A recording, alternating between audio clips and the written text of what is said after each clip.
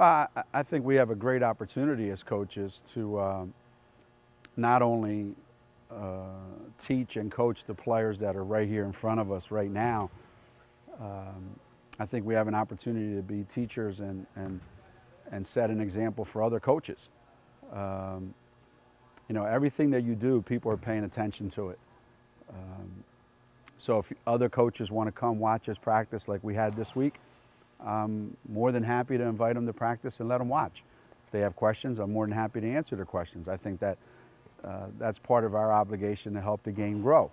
Uh, I think if a gentleman comes from halfway across the country, because he's always wanted to watch our practice, um, and I introduce him to our players and allow him to be a part of practice for that little bit and get his picture taken, I think we're teaching our players how to be uh, inclusive and how to share. Uh, so everything that we do ultimately um, has some value.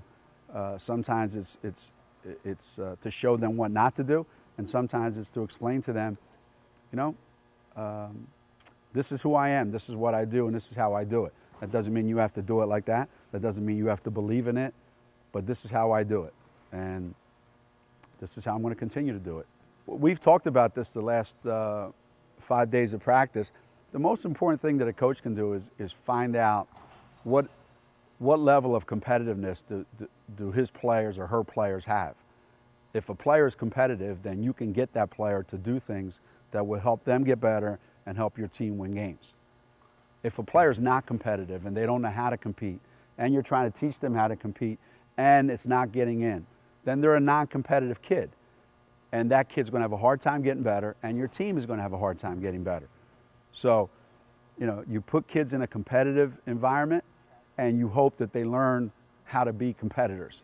Because that's not just in, uh, in basketball. That's competing in the classroom. That's competing when they graduate in the business world. That's competing in life. And I think a lot of times, as I go around this country, we've lost that competitive spirit. Everybody gets rewarded just for being there. Everybody gets a medal for showing up. Okay? And you know what? Connecticut, you don't get any medals for showing up, and you don't get rewarded for just being here. Uh, you know, kids didn't become all Americans here.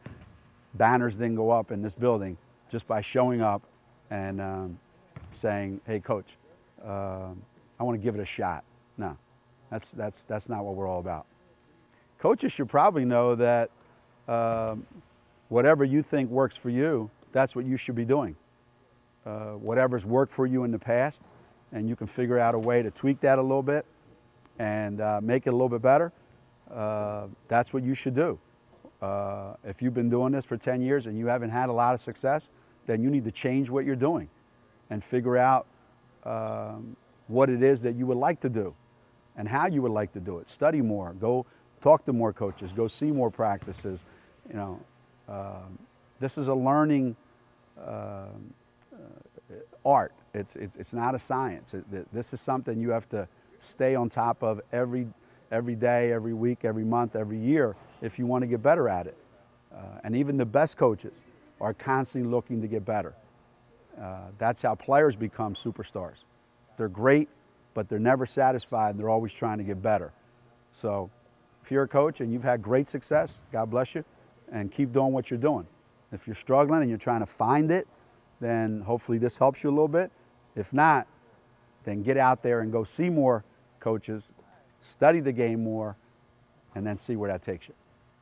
I, I would hope that over the last five practices, uh, you've been able to see what the structure of our practice looks like, uh, what we emphasize, the things that we think are most important in trying to build our team.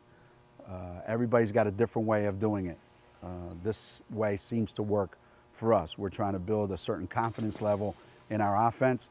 Uh, we're trying to make our players comfortable with the basketball in their hands because I feel like that's where everything breaks down when players are not sure what to do with the ball when they catch it. Um, we feel like over the last five days, um, we've made them comfortable. Uh, I hope as you watch uh, the progression of some things that we do, half court, full court, individual stuff, um, that it's something that might help you. Um, I know you don't have a lot of time as a high school coach if you're watching this. Um, and in a short period of time, trying to get as many things done as you can.